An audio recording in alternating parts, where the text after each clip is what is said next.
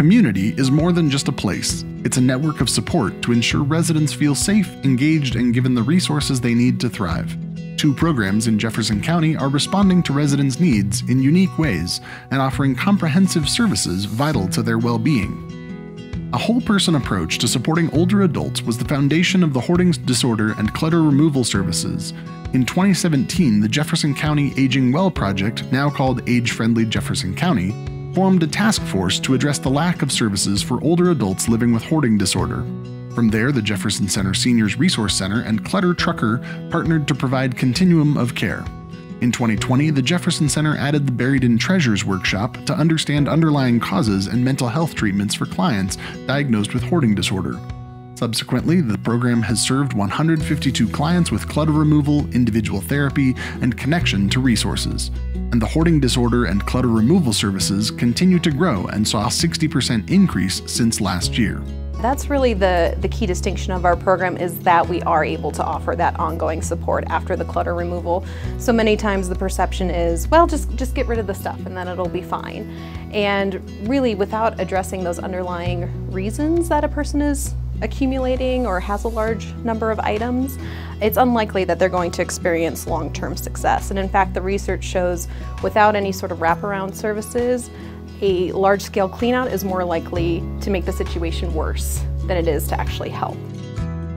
City of Wheat Ridge officials heard loud and clear what residents wanted a better way to weigh in about their neighborhoods. And in 2020, the city rolled out the Let's Talk resident engagement program in 10 neighborhoods. The basis of this program is the five month engagement blitzes that focus on two neighborhoods at a time, where city staff reach out to residents through mailers, yard signs, emails, social media, partner organizations, and open houses to promote a survey with three simple questions what do you love about your neighborhood? What concerns do you have? And what improvements would you like to see? The outcome of these blitzes is an action oriented work plan that's publicly updated every six months. To date, the city of Wheat Ridge has completed these efforts in eight of the 10 neighborhoods with 1,600 participants. I really think that we can attribute the success of the program to two things. The main one being the neighborhood residents' willingness to talk to us. It really comes down to the fact that neighborhood after neighborhood, people are willing to come out and tell us what they love about their neighborhood and what they'd change.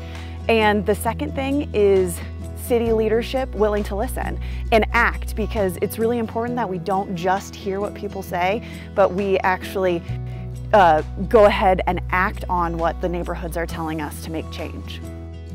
MetroVision calls for connected and active communities dedicated to the health and wellness of residents. Through meaningful relationship building, the Jefferson Center and the City of Wheat Ridge can address unmet needs and successfully serve residents through the hoarding disorder and clutter removal services and the Let's Talk resident engagement programs.